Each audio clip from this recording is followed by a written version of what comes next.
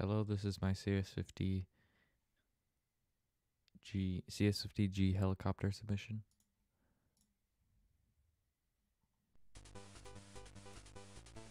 So as you can see down here, I'm printing out the speed, skyscraper speed,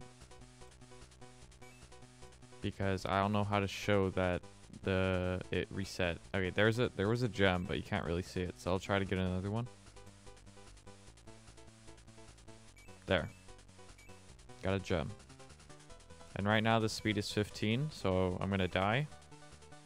And once I press space, it's back to 10.